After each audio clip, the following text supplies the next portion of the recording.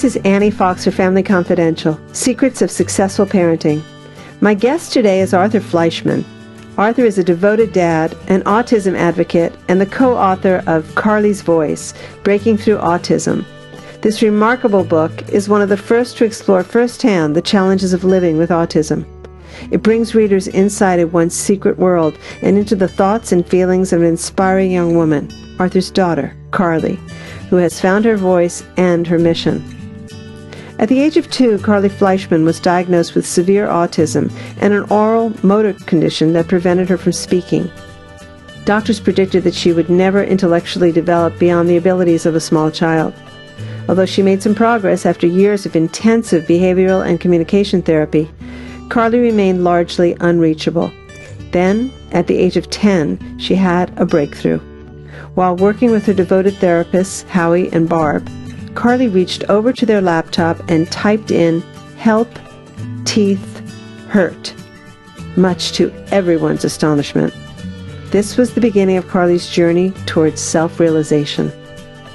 This never published conversation you're about to hear between myself and Arthur Fleischmann was recorded in April 2012. My first interview question was When did Carly begin typing?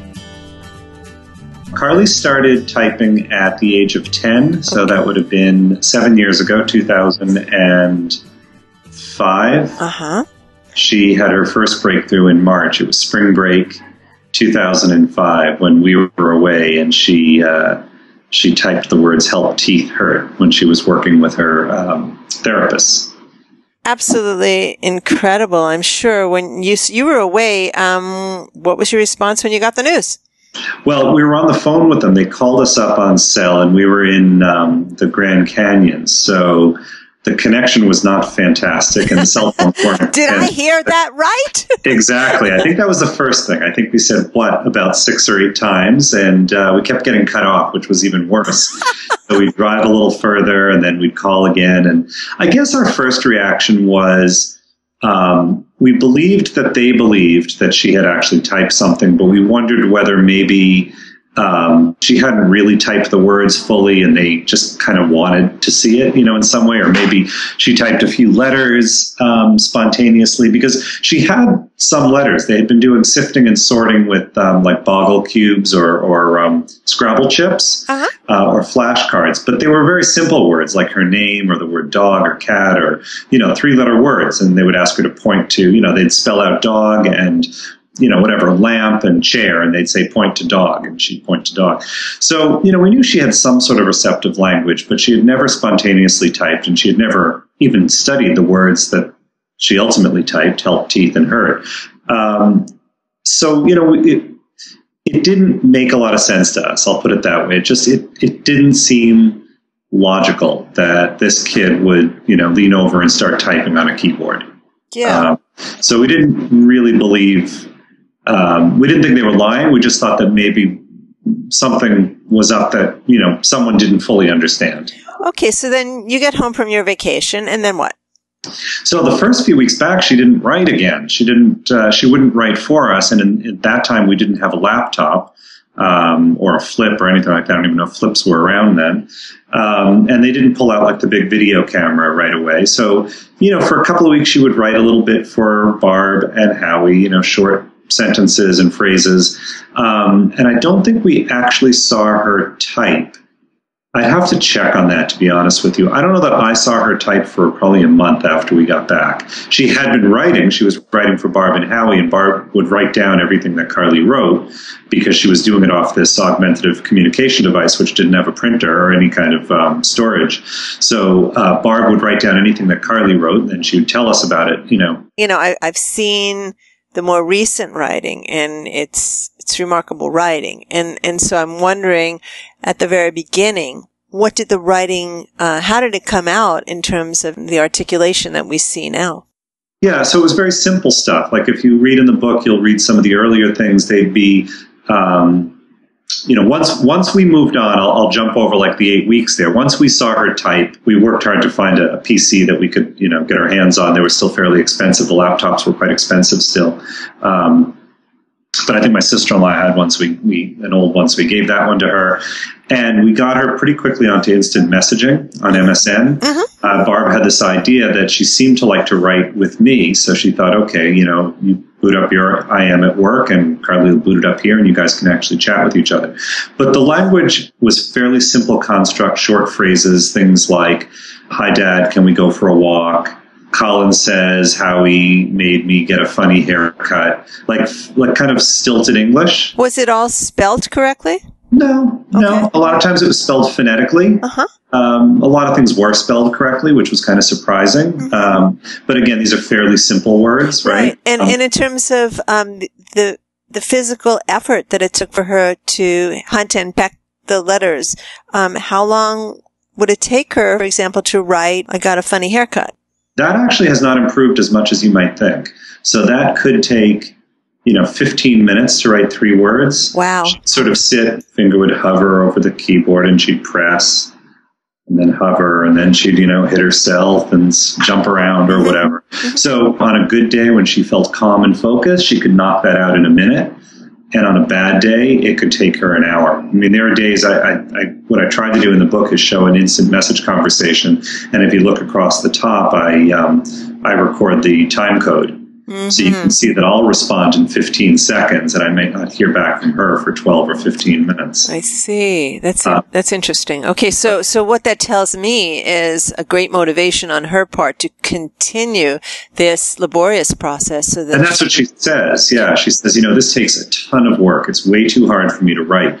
Um, it's gotten a little bit easier, but you know, she says this just I need to be able to speak because this is just way too much work for me to be able to type. It's too hard for me to sit still. It's too hard for me to focus. You know, the, all the other noises and sounds and smells and all of that sort of interfere with her ability to focus on the keyboard and focus on what she wants to say. So if she had her druthers, she would she'd be able to speak, obviously. is there is there another interface that might make it easier for her to get her words out?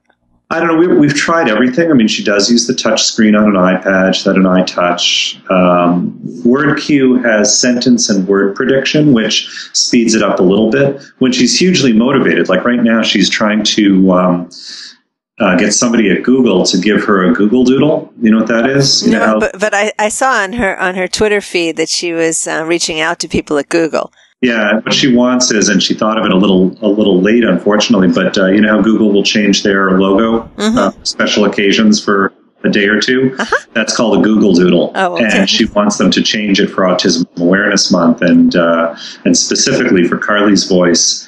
Um, and for a website we're about to launch, I was just looking at it just before you called, called Car- Carly's Cafe, which will be an interactive website that um, s- simulates what it feels like her to sit in a cafe and try to order a cup of coffee. Wow. So her over the years she's become more articulate inside. The speed of getting the words out is a little bit better. And some of you asked me if the if there are better interfaces. You know, there have been some minor improvements with um, with WordQ and you know type to voice and sentence and word and sentence prediction has helped her uh, a little bit. But her language has become very sophisticated, and she said now she can write enormous passages in her head and remember them verbatim.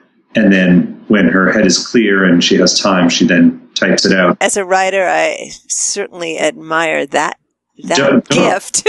Admire and I'm jealous of it. Uh, really, that that is well amazing that she could just you know compose it, shelve it, wait until till uh, the area is clear and quiet, and just take the time to sit down and. That's how she did her chapter. Like she was very late getting her chapter written. Um, I was already in editing, and I was coming to the end of my editing, and I said, "Look, if you can't do it, it's no disgrace." But I need to know because I need to rejig the ending of the book because it, it's written for your chapter, and she hadn't shared anything with us. I had no idea what she was planning to write. I'd given her some thought starters, all of which she ignored. Uh, no surprise because she is a teenager. And once she got it out, uh, of course, I loved what she wrote. I had a couple of suggestions in terms of maybe talking about what you know her future plans were, or what have you. And she said, "You know, it's it. It's done." I'm like, well, how about editing? No, it's done. It's done. So we cleaned up some of the typos. Um, I don't even think we fixed the syntax. So some of the sentences are a little boggy, but um, um, that's how she writes. She writes it all in her head, and she she says she has pretty much the rest of her um, this other book that she was working on, Elephant Princess. She said she pretty much has it done in her head as well. Does she, does she read other people's writing in terms of memoir or that kind of writing that she does? Well, we've always read a lot. I mean, the books we used to read a lot more than we do now. She just doesn't have as much time, and her um, routines are a little different. But bedtime always started with with a book, uh, and she used to like um, Harry Potter. Although interestingly, she never read Harry Potter, uh, but she liked that genre. Uh, there was uh, Angie Sage's Flyte, and I can't remember that was like a trilogy or a it was a trilogy. So those types of you know modern meets old English, you know spy drama kind of you know type stuff. Um, we still read a lot, and she reads a lot for school now. Mm-hmm. Um, she doesn't read because she doesn't really have the motor skills to hold the book and flip the pages. Right. Um, so, you know, we've thought about or used on occasion audiobooks, or she likes it when I read to her. So, you know, I'll still try to read to her a bit. Um, interestingly, when she reads, she just looks at she just looks at the printed page and photographs it. She sort of scans it. You mean mentally photographs it? Yeah, yeah. She just you just have to hold it for her, and she'll tap your shoulder, and you flip the page, flip the page, flip the page. And then if you asked her about what she read, her retention is it's about ninety odd percent. It's really, really it's amazing. Stunning. Yeah, yeah. Uh, Howard claims she can count cards. I, I um, seen it. I've seen her do it, although it, I wasn't quite sure if what I was seeing was was accurate. Where you know he'll flip the cards and he'll say the eighth card was what. She'll type eight of hearts um, with pretty good accuracy. I mean, more than 50, more than statistical guessing, more yeah. than fifty percent. Amazing. Right. You know, when I first um, read her writing, I immediately thought of Anne Frank. We've read Anne Frank. That one we did on audiobook, actually. I, am very, um, you know, as I say, as a writer myself, I'm, I'm very tuned into to cadence and to word structure. And there's something similar to me in the voices that that's what struck me about it. There's something. And how old was Anne Frank when she was what 14 when she wrote it? Uh, she, she was in hiding between the ages of uh, 14 and 16. So, you know, they're teenagers. Yeah, they were teenagers. Uh, yeah. And it, it's not so much the voice of a young person as it is the purity and, and, and just raw honesty of it. There's no bullshit about it. There's, right. there's, there's no equivocation. It's all, this is me and this is what's going on with me right now. And here it is, right? For you to all see. Well, I think in both cases, there is a an inability to waste, right? So in Anne yeah. Frank's time, she had no time to waste, she had no materials to waste.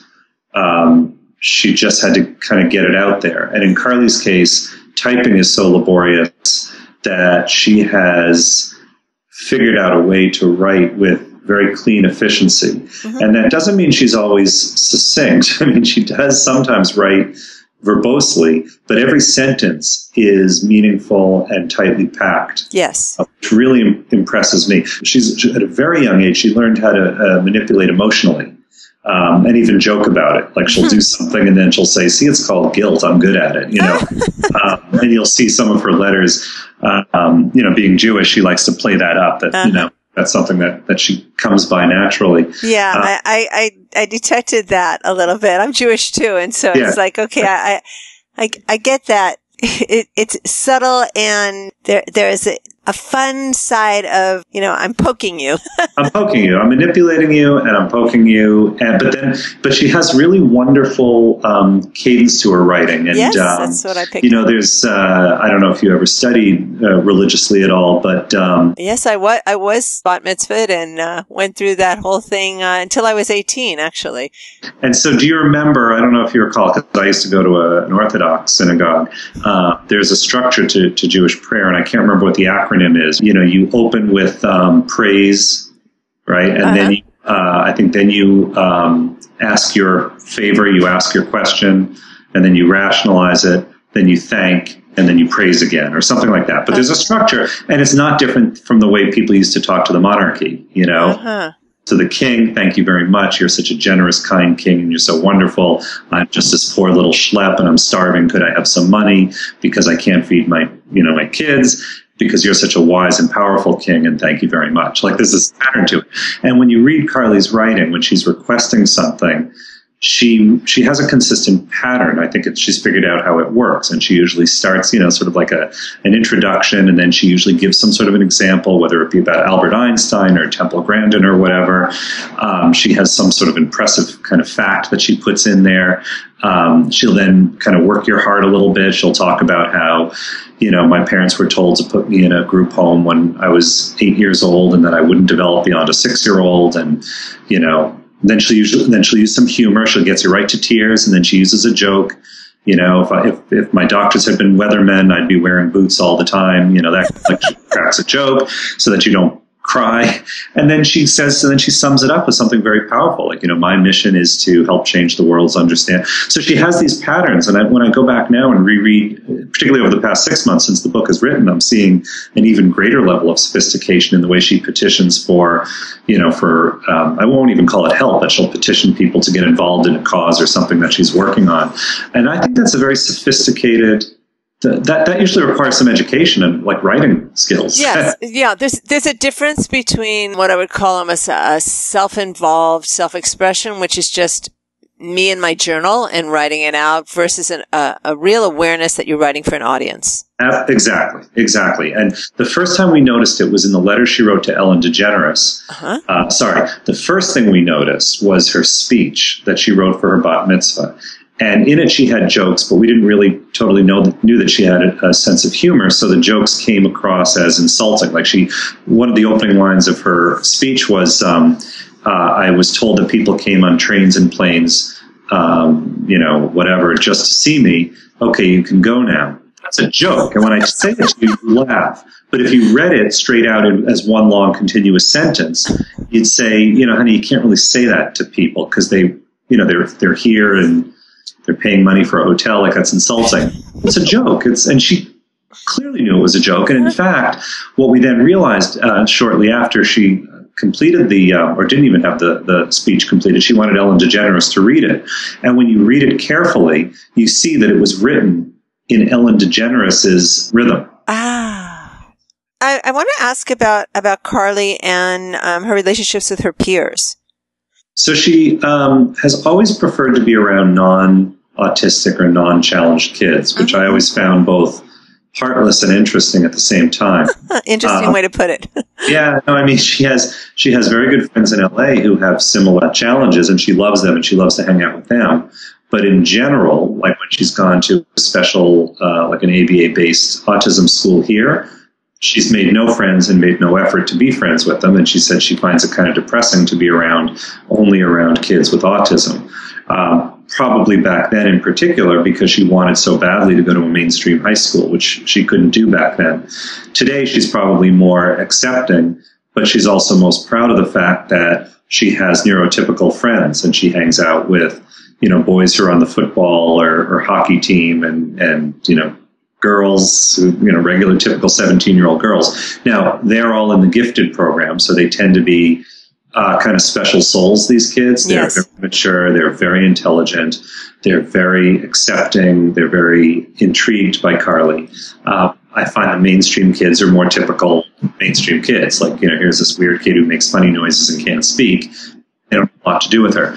But, um, but now she does, uh, you know, school activities with them. She loves to work in groups and she hates to let her, her peers down, so she always wants her work to be excellent.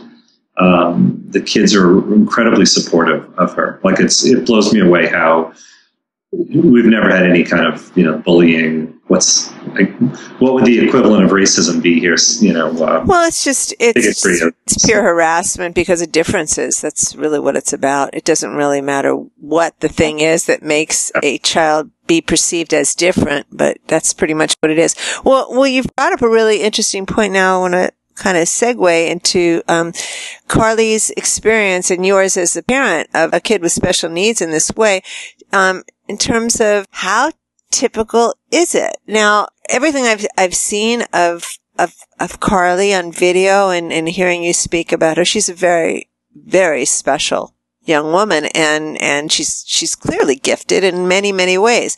Um, does she still have autism? Yes. So I'm wondering that when, when you go to speak, um, when people got in touch with you as a result of this first news story, um, other parents um, looking desperately for hope.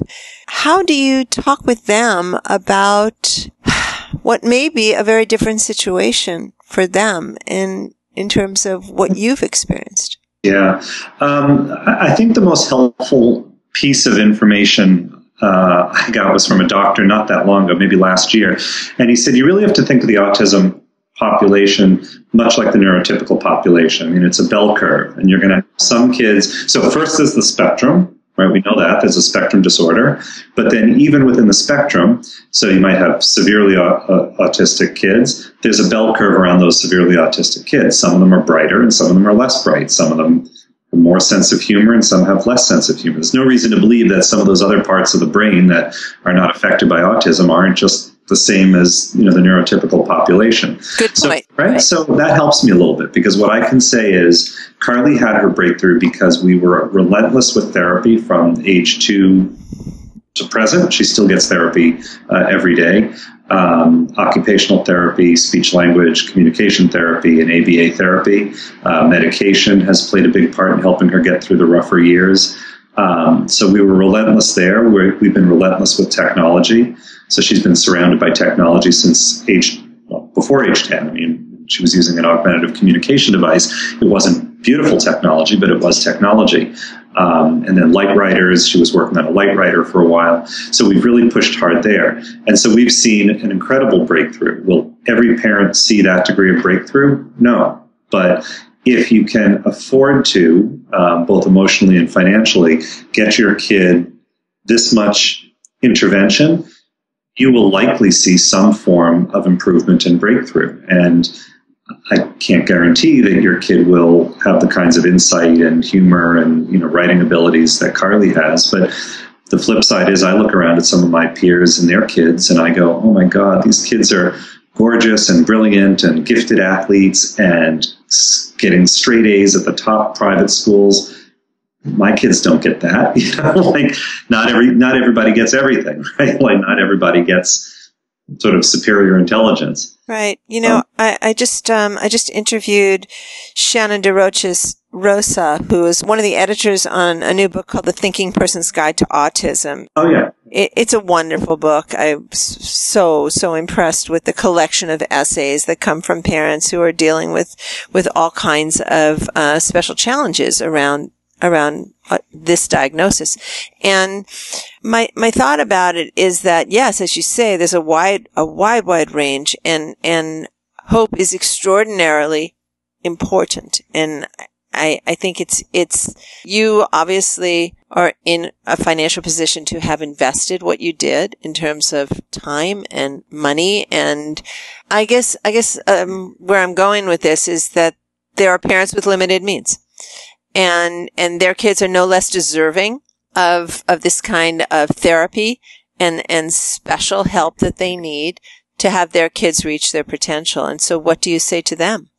So uh, all I can say to them is uh, that is why my wife, in spite of not really wanting to do this or being, you know, it being her chosen vocation, has devoted all of her spare time to advocating for parents like that.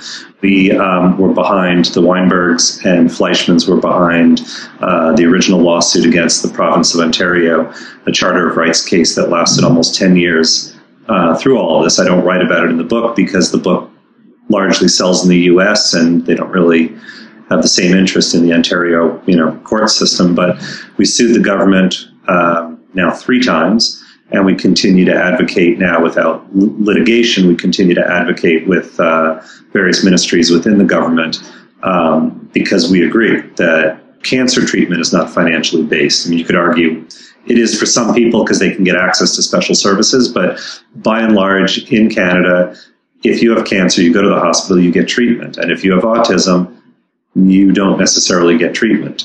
So that to me seems like a Charter of Rights breach. Uh, where are you based? I live in San Francisco. Okay, so uh, so this is I'm speaking a little bit of gibberish, I guess. No, no, not uh, at all. Because uh, these are you know the the topic is the substance of what you're saying. That to advocate for kids with special needs goes across all atypical kids, no matter what we're actually talking about. And and it's interesting to me because I I am an advocate of public education. And yet, you know, it's interesting. I, I just got an email from a mom today, which is the kind of the other side of something that I had not really thought about it. Her daughter's in the fifth grade and the gist of her email was that there are kids with behavioral issues in in her daughter's school, particularly one in her daughter's class. And um, because of the mainstreaming ethos, these this particular child is um, in in a, a class where it sounds like there's a mismatch. Um, mm-hmm. The child's very aggressive, and as a result, her daughter, who used to love school, doesn't want to go to school anymore because she seems to be targeted by this highly aggressive child. From the mother's perspective, the kid is given free rein.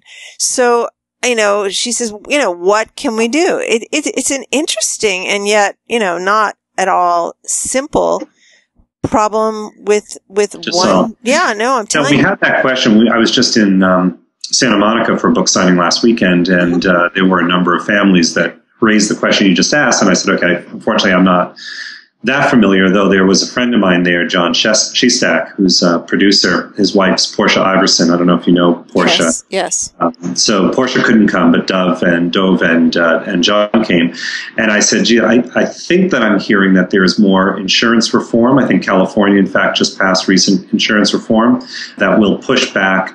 To private insurance the requirement to pay for some of this therapy.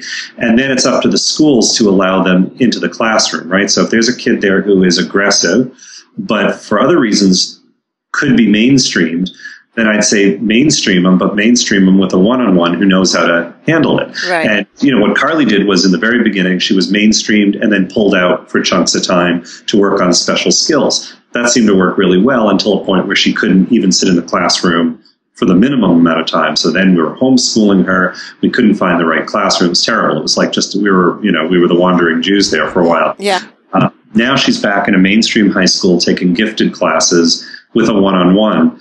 And what Howie Howie works in the afternoon, and, and Dana turns out to be a sister, so it's a brother sister team. Nice. Works in the morning. Um, and what they try to do is they'll fade um, to the degree that Carly wants them, wants them to or is comfortable with it. She'll sit at the you know the desk or table or whatever, and they'll step back a bit and then they'll step out of the class. And Howard says now, actually, in most of his classes, he spends a good part of the time out in the hall, just sort of watching her. But if she has a bad day, like she used to a year or two ago, he's right there. So he can redirect her, get her out of the classroom so he doesn't disrupt you know, she doesn't disrupt the class. Interesting. Um, it's a fairly expensive model, though. So back yeah, to this conversation started. What do you do? I think, you know, if your kid is very severe, autism schools make sense with the goal of mainstreaming them. And then once you mainstream them, support them sufficiently, which usually with the more severe cases means a one-on-one with the goal of withdrawing that as much as possible. But that's a very laborious, expensive, um, protocol for a condition that now affects one in 88 kids. Yeah, that's what we're hearing. Um, yeah. You mentioned meds, and I was curious about that. So uh, I won't preach either way. I mean, we tend to be we tend to favor pharmaceuticals.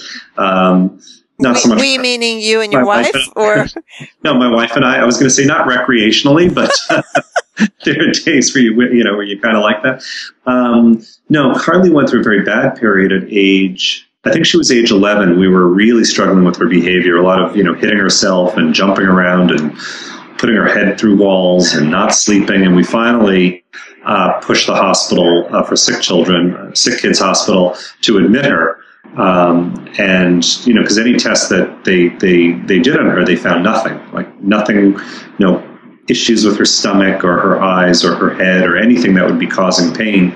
Um, and they tried, uh, we finally found a uh, pharmacologist, a um, psychiatric pharmacologist who said, you know, my expertise is not autism, but you know, we can try some different things. And the first things that seemed to help was actually something that my wife pushed was uh, pushed on her was um, something for restless leg. And because Carly was complaining that her legs felt like they were on fire, and you know, and Tammy kept saying that sounds like restless leg, and the doctor said, "I have restless leg. That is not what it feels like. I don't think it is, but it you know shouldn't have any negative side effects. So let's give it a shot." And we gave it a shot, um, and it helped almost immediately, like within weeks. Uh, not completely, and so we've used other things like gabapentin, which is an anti seizure medication that is also used for um, neuralgia, I guess, various nerve pain, because Carly had been like hitting herself. Um, and she said, it, you know, it might work on a couple of pathways that, that could be beneficial. So, you know, we've done things like that, um, some mood stabilizers, because she used to have, she said, just these wildly fluctuating moods where she'd be laughing one minute and in tears like 10 minutes later. And she said it was driving her crazy. Like she just could not control the, the seesaw of her moods. Um, more recently, over the past six months, she wants to be off all medication, and her um, her doctor supports her her wish and doesn't think it's it's not dangerous as long as it's handled properly. So she's very very slowly withdrawing from all medication. Um, and you know, by the end of this year, I imagine she'll be off everything, and then they can take a look see at what's available and what they're trying to target. Really, her bigger issues to target right now are her OCD. Mm-hmm. Um, and so I, I, think what everyone wants is to try a clean slate and see what Carly is like, completely free of any medication. Um, you know, clean out the system and then re- re- reinvestigate. It's a really interesting story that you tell there. You know, I, I was struck by the difference, just the physicality of her movements in, in the uh, ABC piece from yeah. yeah and it's and then the lead into the later pieces you know these days carly's much calmer and i go wow look yeah. at her there she's you know very different and, and, yeah she's not but but they shot it a little bit that way i mean if you saw her over a protracted period you'll still see the yes you know. some of that but it it seemed it seemed to indicate that part of that calmness was coming from this newfound ability to express herself so that others could understand and not so much huh I don't think so. I mean, okay. that's that's the way ABC wanted to sling it. I think that two things. Yes, in part, and she has said that she she's as she'll say, you try going around for two days and not talking, and let people talk about you in front of you, say things that are incorrect, and you can't go, no, no, no, no, no, that that's not how it happened. Like you you can't speak, and yes, you will be incredibly frustrated. So I do think some of the outbursts, but we could sort of see the difference, and we would say to her during certain outbursts, you know that's not autism, that's misbehavior. And we can tell the difference. Um, and so you need to learn how to control the misbehavior part of it and find other ways, you know, other outlets, not the least of which is to communicate, um, either write or use the uh, Proloquo2Go. Then there are times where she says her body just feels like it's being possessed by demons and she has no control over it. And that's more the OCD, right? That's where she feels like she has to do something like, you know, go through a door a certain way or you know something else and if she can't she said it feels like she's being stabbed from the inside out so that is something that there really is no cure for i mean there's cbt cognitive behavioral therapy which um, we do sort of a modified version of it now. We'd like to try to do a full blown version of it uh, as soon as we can, and certain medications. But medications have not proven to be terribly effective on um, on severe OCD. Um, tell me, Arthur, has has Carly had um, much opportunity either through her blog, um, her Facebook page, or in face to face events to talk with other kids um, who are autistic and maybe have more more verbal skills than she does, but you know, just to make that connection so that they have more verbal skills, but she's got she's got the linguistic stuff going for her. So I wonder um, how what kind of connection she's made within that community. Most of the connection she's made in the community comes on Facebook, where she mm-hmm. responds to people, and some of them are young adults with autism or Asperger's, and she does respond back. And then she has three very good friends in LA, um, Portia and, John's son, um, Elaine Hall. I don't know if you know Elaine, uh, her son, and uh, and her her other friend Gabby Vallner. Um, none of them are really verbal. Gabby a little bit, but generally it's kind of it's interestingly she kind of speaks nonsensically, but she's extraordinarily bright. In fact, she also she's going on to do a program at UCLA I think next year. Um, all of them are exceedingly bright, uh, beautiful writers, poetry, creative writing, very articulate, uh, but don't speak and she does write with them and they exchange, uh, but sometimes not. And she said, you know, it's so hard for us to write.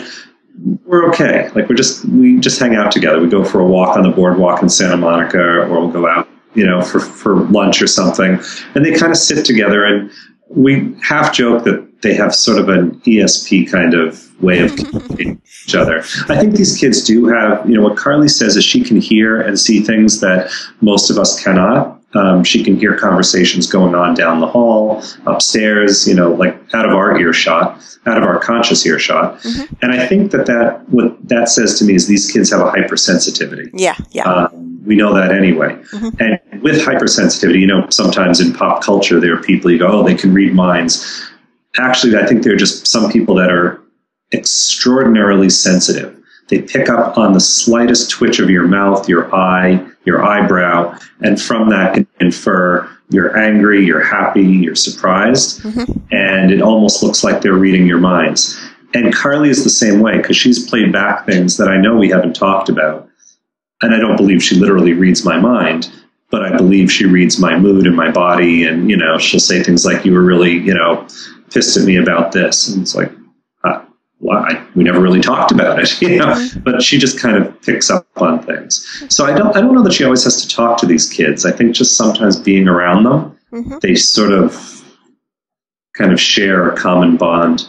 I wonder, uh, I wonder if they perceive her in any way as a spokesperson for them. Oh, they, generally they do. And again, if you go on Facebook, the, certainly the more um, verbal ones who get on and write, they will say thank you for for for being our voice and for mm-hmm. You know for speaking for us in a way that we can't speak. Yeah, she's loving the book launch thing. I mean, she finds it overwhelming, but she also she she has been waiting for this kind of celebrity attention so yeah. that she has people listening to her message. And if you read her message, it's very consistent and it's always it's never about her. She'll always say, "I'm not that special." What's you know and then she goes on to say, you know, what's important is that you start looking at kids with uh, nonverbal autism as intelligent people with lots to say. Yeah. Um, she wrote a wonderful line for her speech. She said, um, how did she put it? I botch it. She said something to the effect of, "It's it's you know criminal that you give up on us because we haven't given up on ourselves." Wow. Um, and it's very powerful, right? It like, is. Um, and that's kind of her message. Like, as she says, you got to come to the horse's mouth. You don't try to say, when you want to find out if the horse is sick, you don't ask a duck.